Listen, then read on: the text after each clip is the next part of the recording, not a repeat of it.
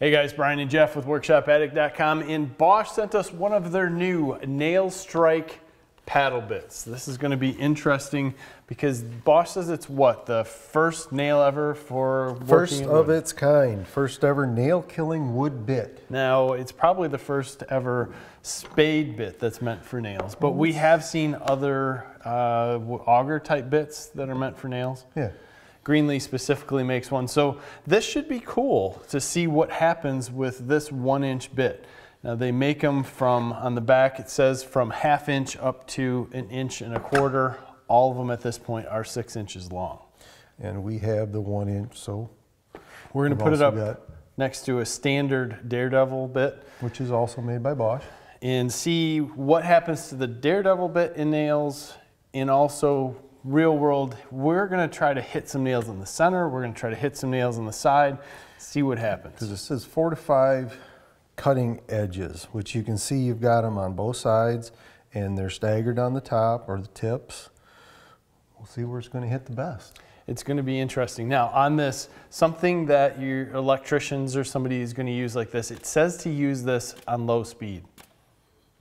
I don't know if that's what everybody would do, but we're gonna follow their instructions, high torque, low speed mode.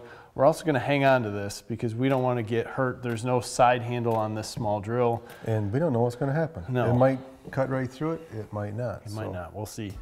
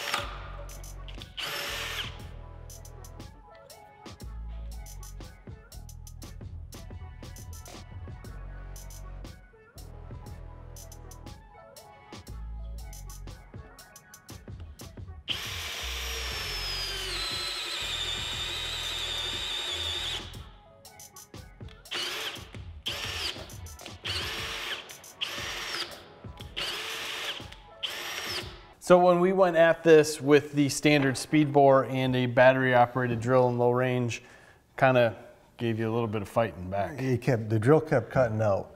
End result, it did go through it, but it pretty much made a mess of the speed bore. Yeah, there's two prongs in this speed bore that stick out that help it to cut faster and pull things out. Those are The point's dull. gone off one side, so. Now when we worked with the nail strike bore, I mean, it worked well, but we still had the same problem. We had the same problem with the drill. battery operated drill. Yeah, it kept cutting out. So moved up to a corded drill to give us the extra power. And she started chewing through some nails pretty quick. Now, the one problem we did encounter, when you hit a nail real close to the auger, it didn't want to cut it. If you were out to the edge or to the side, it'd go right through it. And you can kind of see how this bit is designed, and if you were to get a nail up close, there's not as much that it could there's bite. There's not as much cutting edge there. Yeah.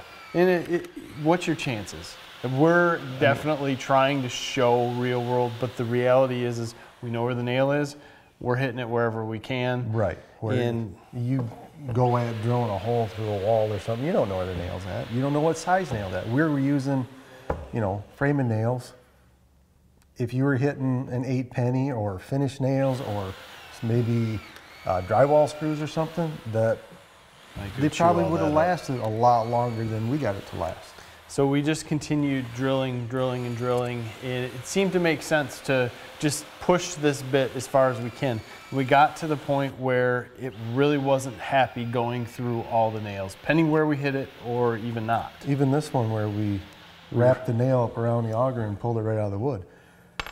It just, it, it got through what we figured nine holes out of uh, many, many more, and we probably got through 75% of the holes. Yeah. And then afterwards, we just wanted to come back and say, what's this drill going to be like through normal wood? And we're using Wolmanized lumber, so it's going to cake up on here a little bit more. But it was still fairly sharp, and you still could use it. Yes. Once the auger bit got through the bottom of the 2x4, you had to push a little bit.